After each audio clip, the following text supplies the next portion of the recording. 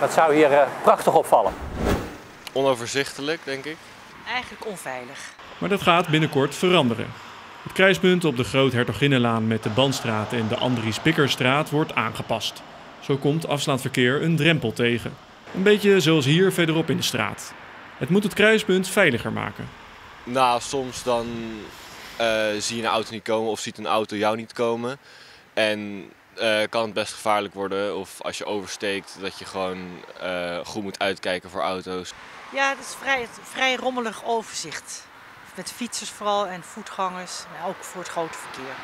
Er is maar één zebrapad ehm, en ja, geen stoplichten of zo. Dus ja, het is best een gevaarlijk kruispunt.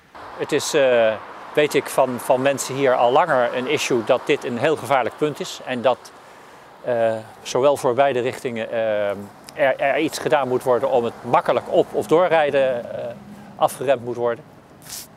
En dat het nu gebeurt is, eh, is, is, is een hele goede zaak. Ja. Wel heeft de wijkvereniging nog een ander punt van zorg. Namelijk de kruising Groothertoginnenlaan Waldeck-Piermontkade even verderop. In maart van dit jaar is daar de 67-jarige Gerda verongelukt.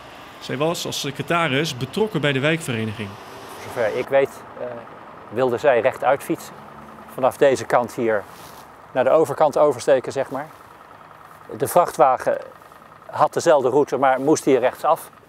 En heeft haar waarschijnlijk over het hoofd gezien, waarbij ze onder de wielen is. eh.